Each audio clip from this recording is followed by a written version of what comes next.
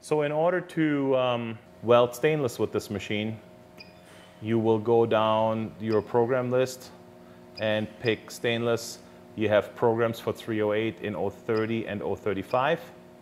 This requires a gas argon with 2% CO2. So this is a 98-2. You need 98% argon, 2% CO2. And then if you're like me, too slow to hit the select button, it selected it for you. MIG stainless steel 308 030 argon with 2% CO2 pulse.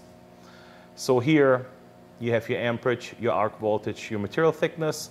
Use those as rough guidelines. Here's your arc length. And um, you have your start speed. You want this to be anywhere between um, 50 and 70 percent.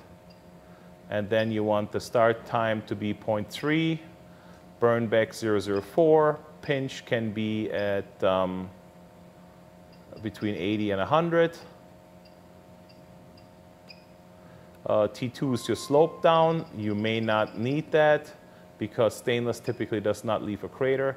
Pre-flow and post-flow. If you wish so, you can run a very long post-flow on this in order to shield your weld at the end, standard and metric settings.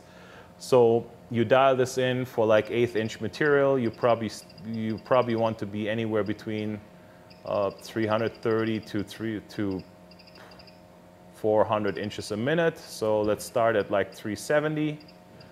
And then you would weld. And depending on if, how long your arc length is, you want to make sure your arc length is short enough where it's not all long and fanning out, but you also don't want it to be too short. When you hear any crackling, like firewood crackling, you need to raise your voltage up to where the crackling stops and your arc cone goes from a uh, occasional short circuit to a true spray transfer.